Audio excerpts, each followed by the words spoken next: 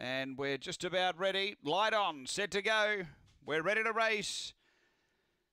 Mixed graded four and five. They're set to run favourite box four.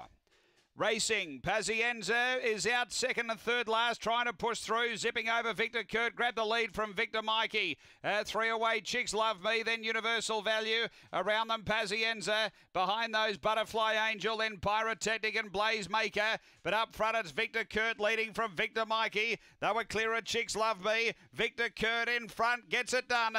Victor Kurt beats Victor Mikey. A gap away came either Universal Value or Chicks Love Me. Uh, then Butterfly Angel, Pazienza, Pyrotechnic and Blazemaker. The run here around 22.60. After the running of race number six and uh, six, seven, two, and fourth home, we uh, have as number one. Six, the winner. Uh, that is Victor Kurt. Lisa Rasmussen gets a double. Second to seven, Victor Mikey for Tony Rasmussen. And third to two, uh, which is Chicks Love Me for Rosa Panagiotou. So it's six, seven, two, one after Gawler, race number six.